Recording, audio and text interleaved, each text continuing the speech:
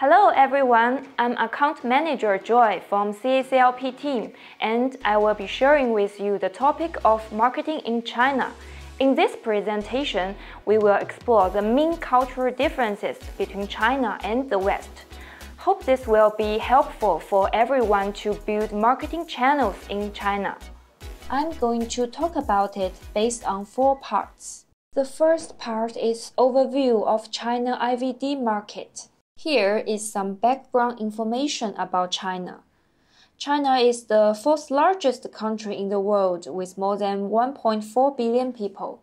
China's rich and ancient culture is fascinating and diverse. Understanding it will be very helpful for your company. With growth driven by an aging population and increasing healthcare demands, China IVD market size reached 23.7 billion United States dollar in 2022, up 31% year-on-year. The market is expected to continue its high growth trend in the next 5 to 10 years. That would be very substantial. The IVD market in China is divided into six different segments differentiated by their principles. Clinical immunity, driven by the chemiluminescence market, is the largest segment in China IVD market in recent years. Molecular diagnosis and POC have grown rapidly in the past three years due to the epidemic. The legislative system of medical device is developing rapidly in China. It is complex and evolving but keeping up with the regulatory and requirements is necessary for all companies who want to enter the Chinese market. The number of approved imported medical devices in China is continuously increasing, creating new opportunities for overseas companies. In 2022, 461 IVD products were newly approved including 107 imported IVD products, with 9% year-on-year increase. However, China's regulatory process can be slow and bureaucratic, presenting challenges for foreign companies seeking to enter the market. Let's move on to part 2 the impact of cultural differences on marketing strategies. Westerners tend to see the world as made of individuals and break markets down into smaller parts to better focus on these individuals. Chinese, on the other hand, will look at patterns and changes in patterns. It greatly affects your marketing, from the message all the way down to the marketing tools you choose. Understanding China's unique marketing mindset is key for companies looking to enter or expand their business in China. How to build a good partnership. Establishing relationships is crucial in China, where it's a source of authority in almost every area of life. Brands and companies should be adept at developing relationships and building friendships with potential customers in the marketing process. In China, people trust each other rather than companies or brands. Personal relationships and word of mouth recommendations carry more weight than traditional advertising. It makes investing time and effort in fostering relationships especially critical in the Chinese market.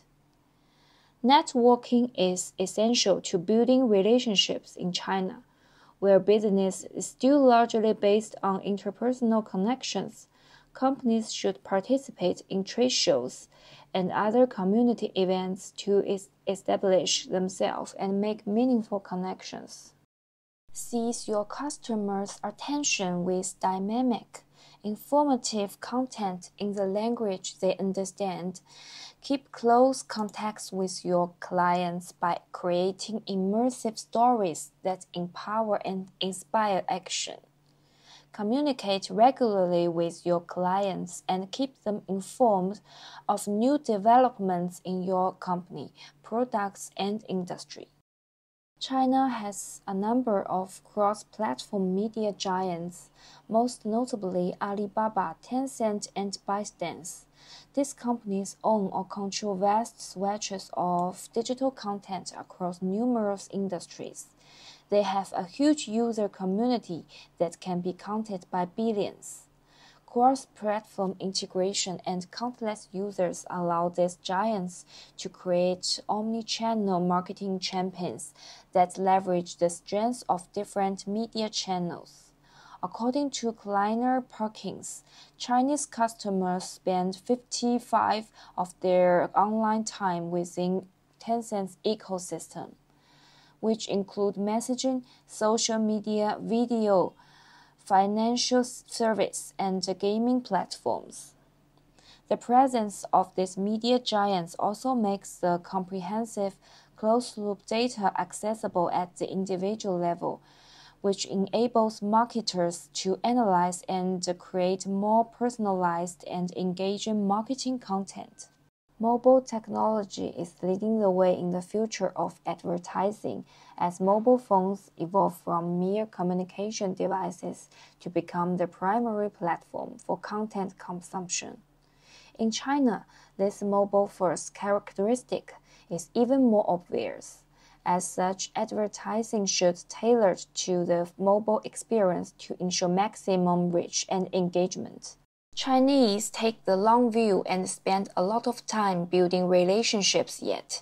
At the same time, they take action and move extremely quickly. Understanding these psychological factors in China is helpful for developing your marketing strategy. The Chinese, like everyone everywhere, prefer to read in their native language, even if they are fluent in English. WeChat has a translation function, making it possible to publish in English, but people still prefer to read directly in Chinese. Taking the time and effort to translate your marketing messages will also communicate that you are still into account your customers' need.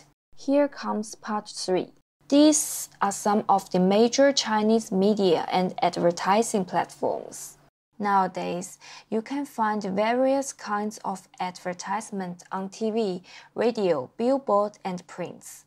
These traditional channels are still effective in the Chinese market. Due to the special characteristics of IVD products, strict regulation, and content restrictions, it is obviously not appropriate to advertise in public area via TV, radio, and large-scale billboard. Print has always given the public a professional and formal impression due to its long life cycle, which combines with its quality of targeted circulation, makes it particularly suitable for scientific and business fields. Social media is growing rapidly around the world, especially in mobile first China. In China, social media is no longer used only for social functions. People use it to get information, buy and sell, and communicate. In China, people tend to go to a website only when searching for something special or wanting official information. A well designed website can convey professionalism and establish credibility, but it should not be your only channel to reach customers in China, especially if your website is based in your home country. Search engine optimization can help drive traffic to your website organically, but can be challenging in China since it can be influenced by paid ads. Remember, Chinese buyers usually trust recommendations from KOLs and the relationships more than search engines. While emailing is less popular in China, it can be still effective communication tool, especially for international content and official purpose. Email often have a lower response rate than other channels, but the ROI is still good since email is cheap. With Chinese users spending a lot of time on their cell phones, SMS can be a good way to reach your customers with more impressions and high clicks. However, text messaging is relatively expensive and focused on conversation. It should be the bottom of the sales funnel. According to B2B International, offline channels such as conferences and trade shows offer more personalized experience and opportunities for relationship building, which is crucial in the Chinese culture. Thus, conferences and trade shows are nearly the most important marketing tool for companies entering China. The event is an opportunity for potential customers to ask questions and have the advantage of establishing the face-to-face contact with Chinese buyers. But also, they are typically more expensive. The last one will be strategies for success. To summarize today's topic, the strategy can be divided into four steps. The first one, market research. Conducting through market research is essential for success in the Chinese market. Understanding local trends, customer preference, and regulatory environments can help overseas companies position themselves for success. The second, local partnership.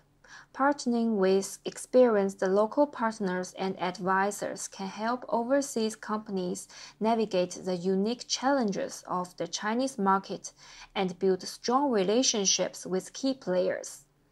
The third, digital marketing. Digital marketing and social medias offer significant opportunities to access Chinese customers. Understanding the local digital landscape and working with experienced local partners can help overseas companies maximize their impact. The last one, patience and persistence. Reaching the Chinese market can take time and require significant investment. Persistence, patience, and a long term outlook are essential for success.